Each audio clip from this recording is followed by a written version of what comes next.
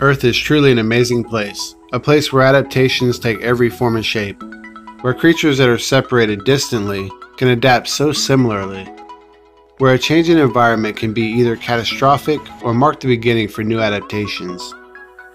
After the sun sets beneath the horizon, animal adaptations become a bit more mysterious.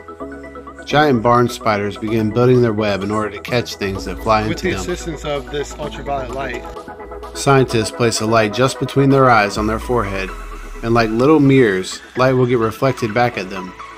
Arachnids. The density of wolf spiders helps researchers determine the health of an ecosystem. The wolf spider's eyes glow like a cat's eyes, which essentially is the equivalent of night vision. When the wilderness is full of darkness, there are a few creatures that emit their own light, known as bioluminescence. Part of many adventurous kids' childhood hunting fairies in the darkness, but most commonly known as fireflies. These are memories a child will never forget catching fireflies, storing them in a pickle jar, and setting them in their room as a nightlight. The vast majority of fireflies' life is spent underground, as a larva, the adolescent phase of a beetle.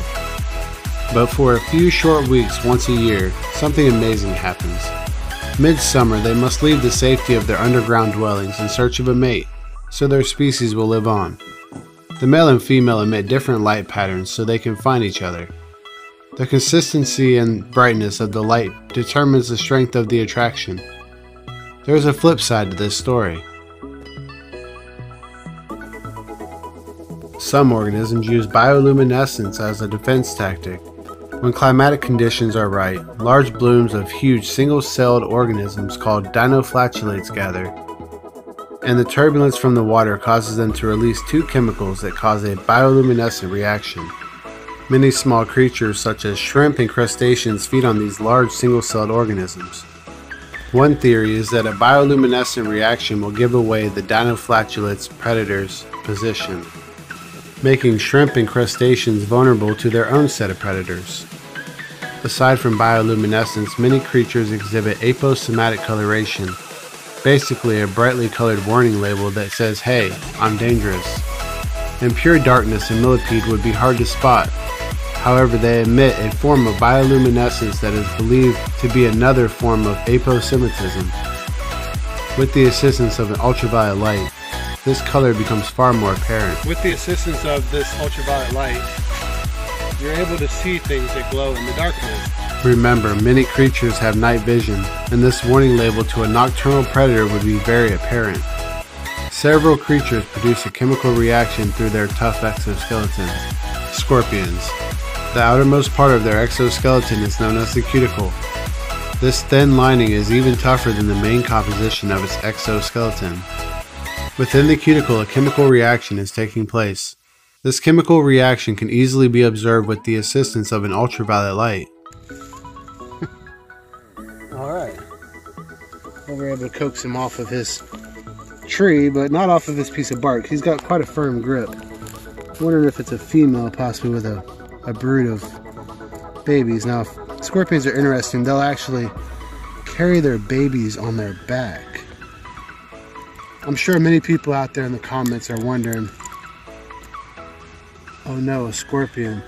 Does that mean you'll be taking a sting from a scorpion? Well, of course, that's one thing we're going to have to do here today.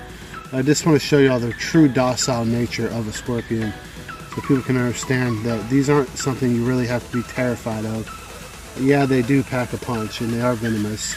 And in fact, smaller scorpions tend to be even more venomous than the large ones.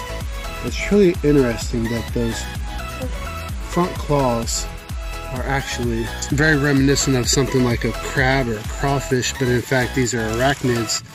They are not related to crabs at all. And it's also interesting that scorpions, like wasps, have adapted a stinger and inject venom, as do centipedes. But each three of those species are totally different in their evolution and have evolved independently from each other. Whereas scorpions are in the arachnid family, like spiders, centipedes are not. They are in the myriapod family, like uh, roly polies. And yet, wasps are in a totally different family. So yes, we are going to take a sting from this scorpion. This is Florida's bark scorpion. We're going to go ahead and let this guy back go in the tree where we found it.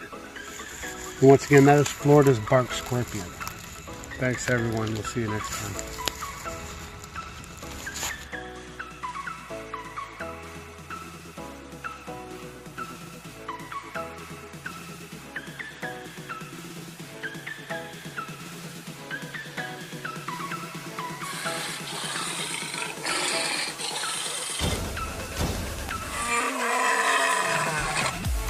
This is my friend Thomas Spencer. You can't see. Shine him in the face. Can't see his face. That's him right there. Thomas Spencer. He wants to see what the iridescent glow of these scorpions actually looks like. So we're gonna go ahead and. up to the tree. So point at the ground. Don't point at the tree yet. Sorry, y'all. I know it's really dark.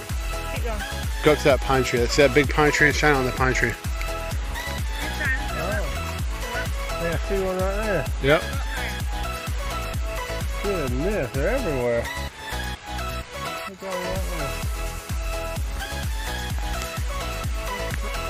Like. Oh yeah, he's definitely on the ground hard. Look at that. Baby, let me. Uh, will you film it again? I think bottom Bonnie, how did you get?